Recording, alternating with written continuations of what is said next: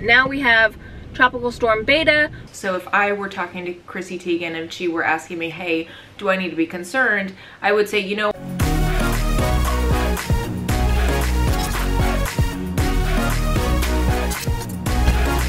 Good morning and welcome to another day in the life. Today we're going to be doing endo and I'm really excited about it to be honest with you because it's another day in the life. The last time I filmed one was not that long ago and it was during a, well, a hurricane warning.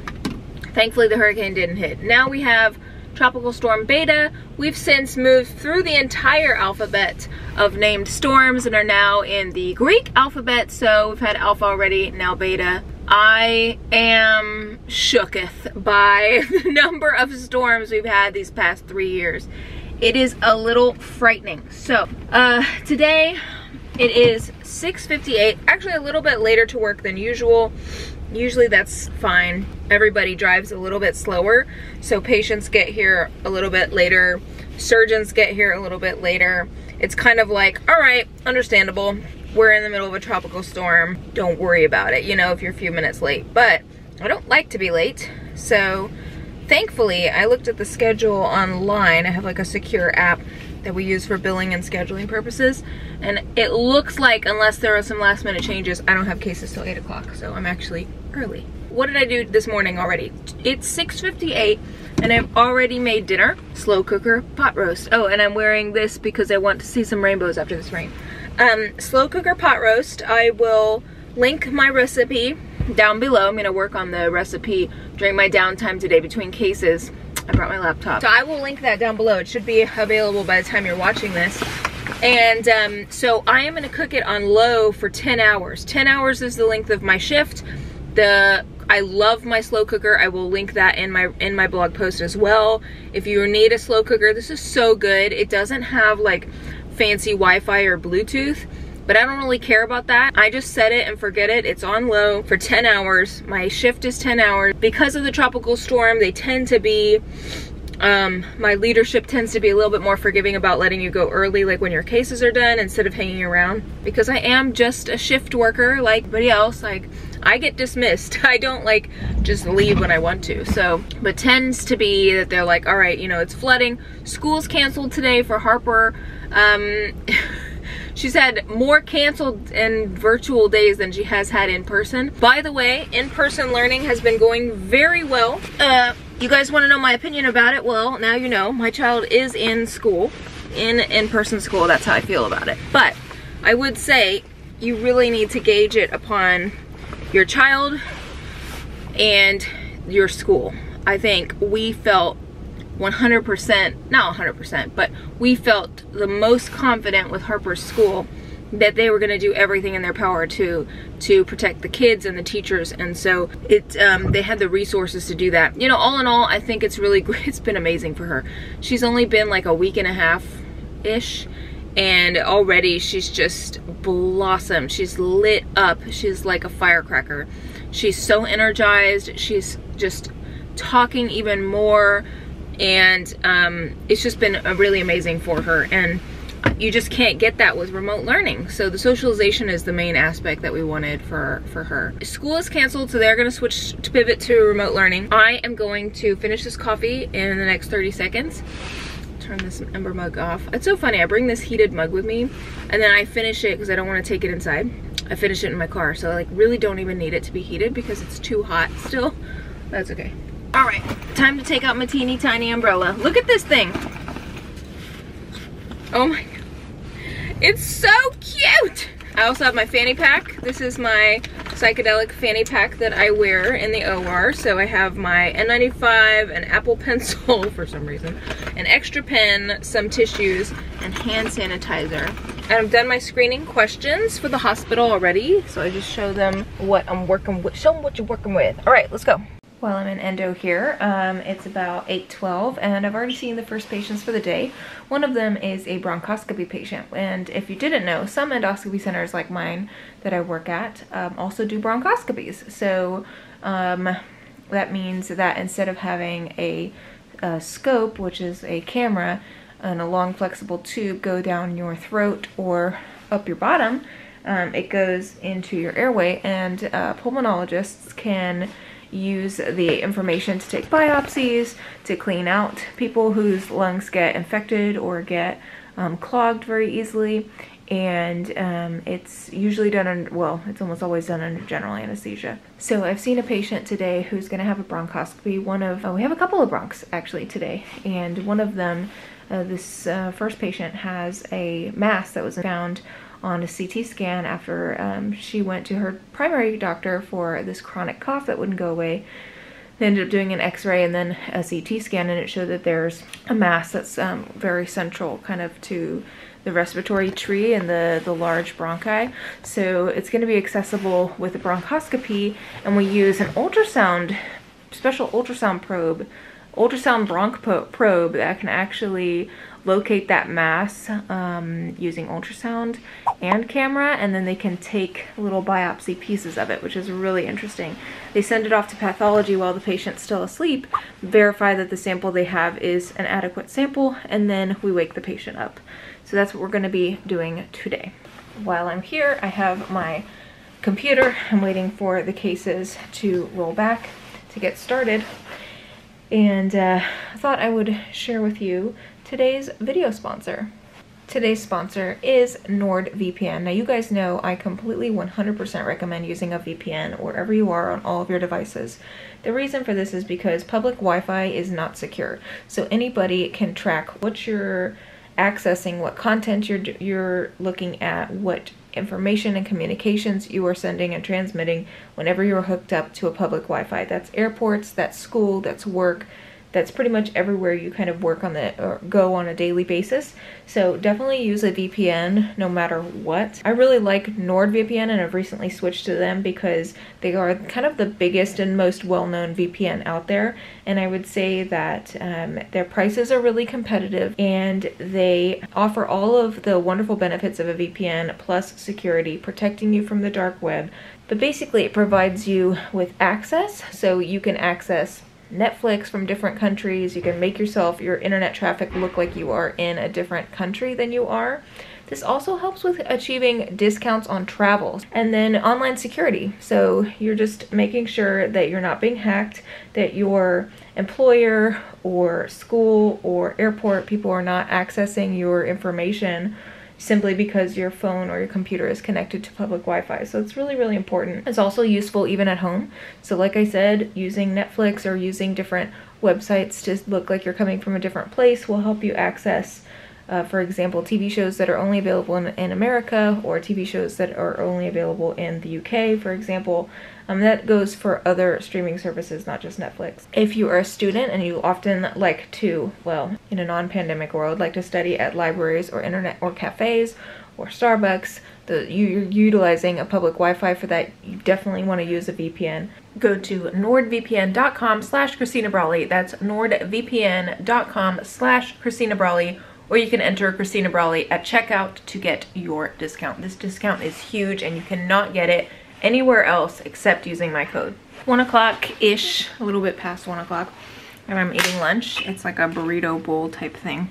Raining cats and dogs out there. Did I mention that it's a tropical storm? I feel like I'm, I feel like I'm always filming these episodes during a tropical storm. There's gotta be something I can rest this on. Here we go. So we've seen, I've seen probably about, I don't know, maybe 12 or 15 patients.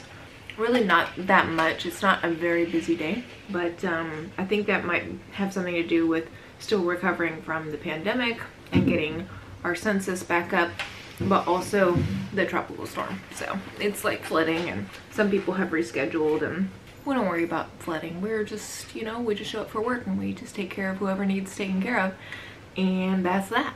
So I only have one more patient to see. It's another bronchoscopy. This one is going to be TB isolation.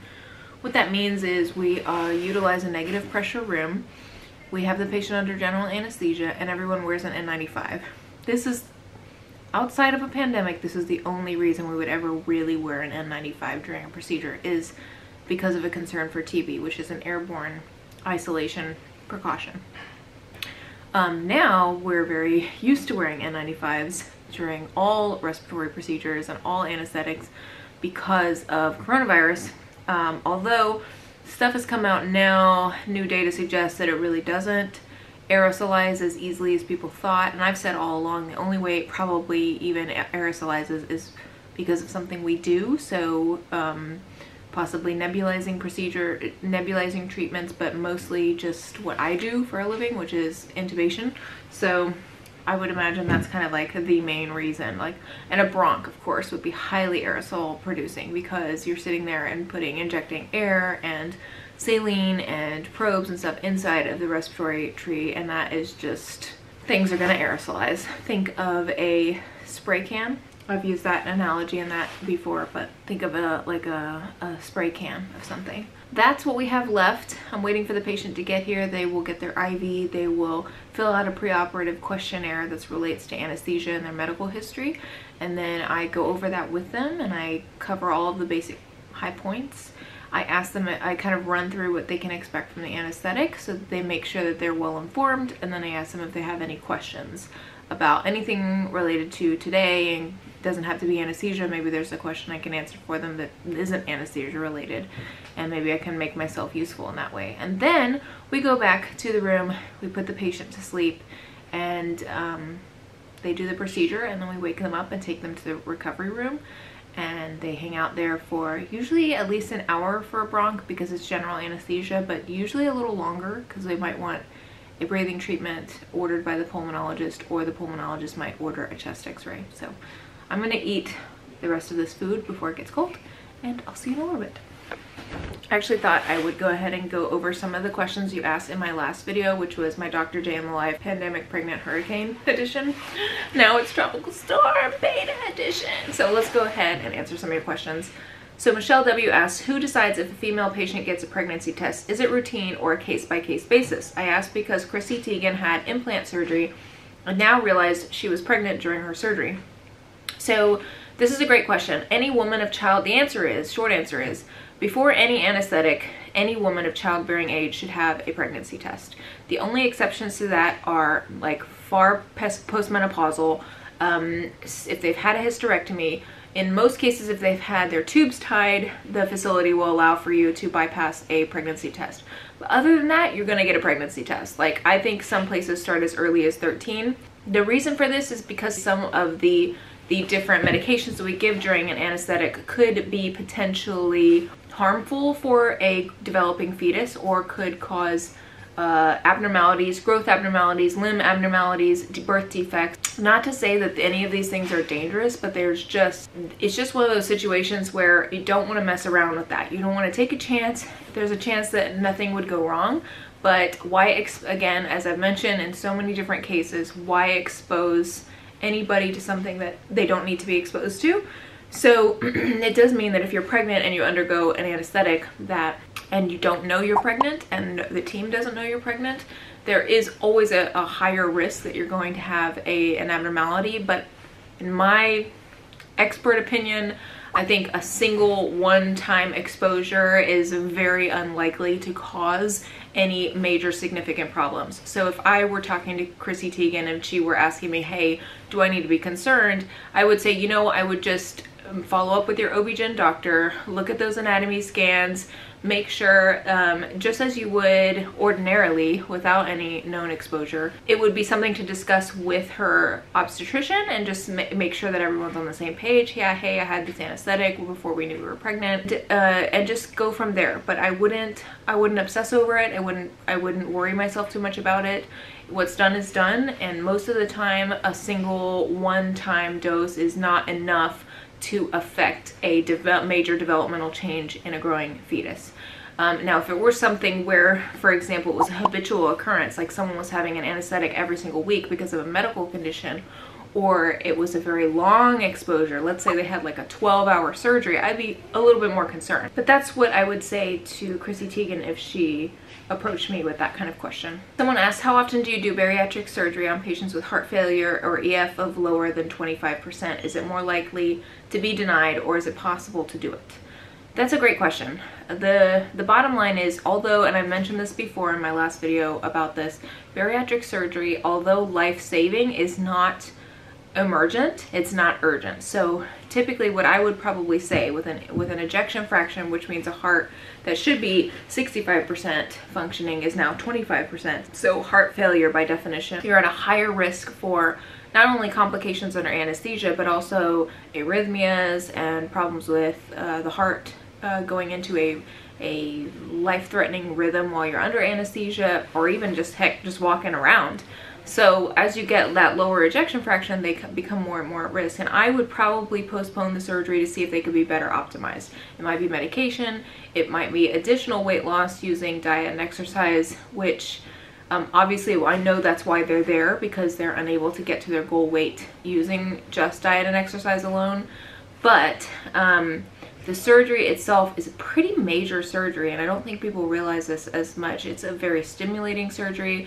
They have to be pretty deep under anesthesia, which means I have to give a higher dose of an anesthetic, if that makes sense, which has a direct depressant effect on the heart. I've mentioned several times that anesthesia lowers blood pressure. It does that because it directly um, is suppressing your heart function.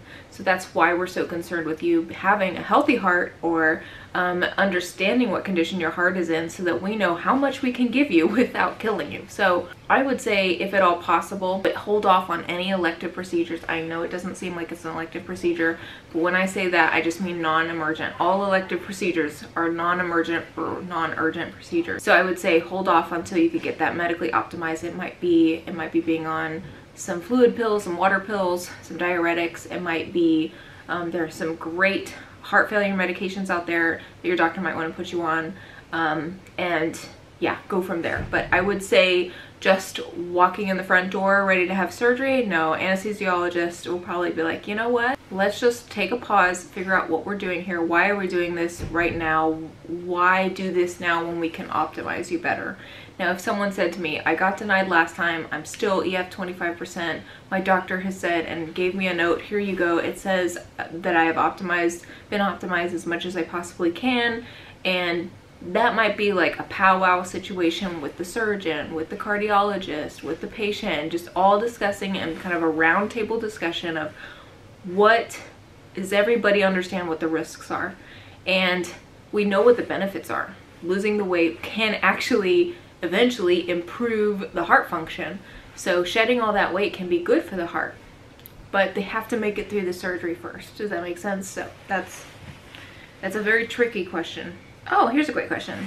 Do you feel regional anesthesia is safe? Um, Anna Kohler asked. Blocks for foot and ankle or shoulder, shoulder surgeries.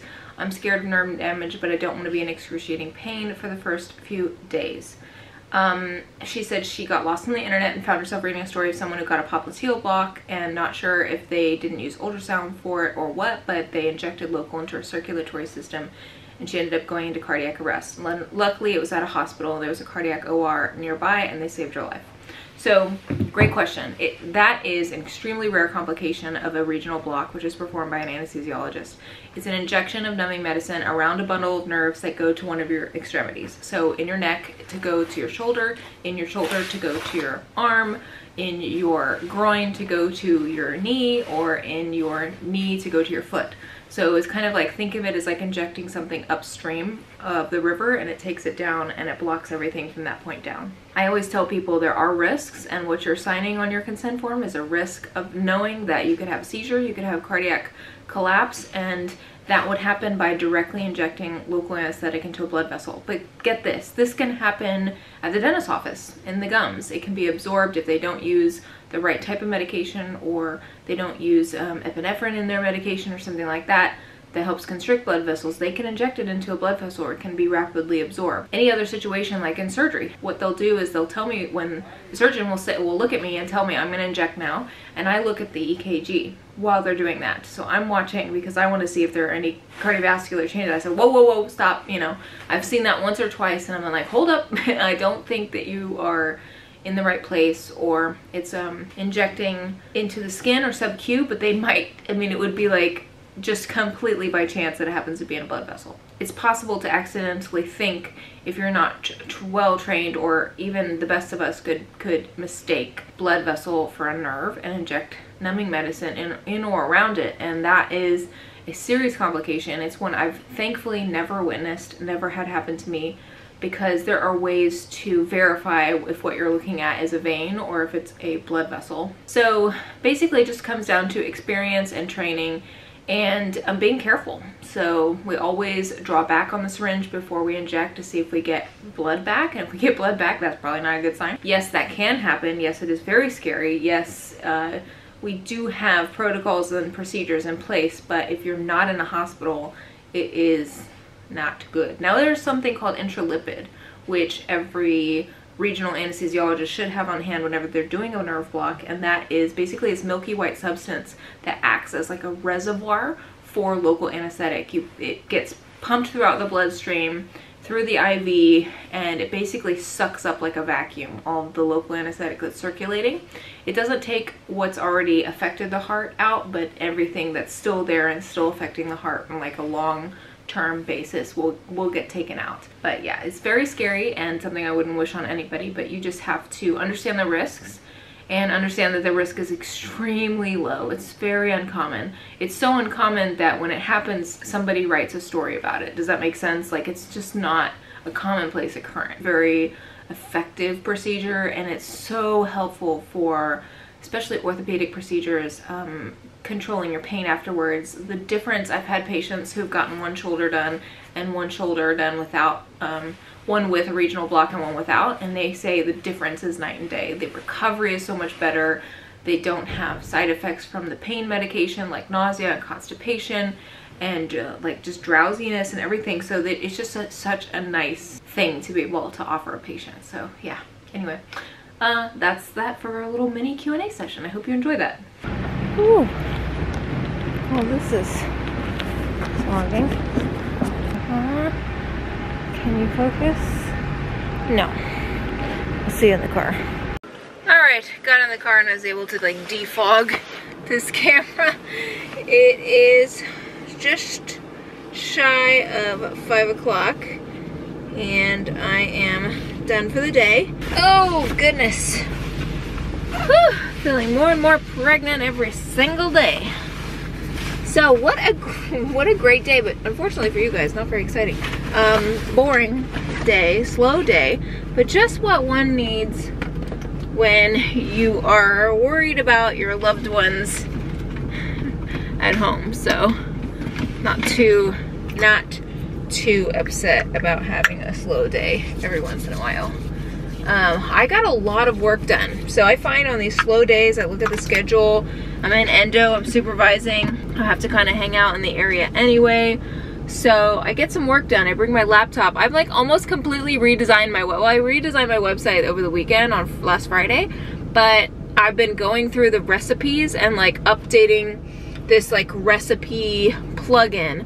So if you go to my website, you want to revisit some of my websites, there's a category tab drop down that you can click on. I click on food and recipes and I have I uh, I have I have outdone myself. I'm like this is taking me all day, but it is really really nice. And oh, update if you follow me on Instagram stories, I singed my eyelashes on the right side this weekend by trying to light my outdoor fireplace. I went, you know, with the gas.